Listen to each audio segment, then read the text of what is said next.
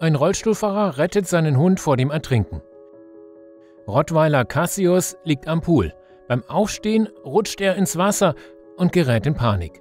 Herrchen Darren Thomas will sich gerade rasieren, als er aus dem Garten ein lautes Jaulen hört.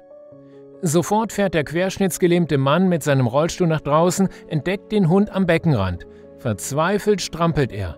Der 40-Jährige versucht, den Hund rauszuziehen, doch das Tier ist zu schwer. Doch in seiner Not hat der Rollstuhlfahrer eine Idee. Geduldig führt der Geschäftsführer einer Sicherheitsfirma seinen vierbeinigen Freund um das Schwimmbecken herum zur Treppe, damit er alleine rausklettern kann. Mehrere Minuten dauert die Rettung.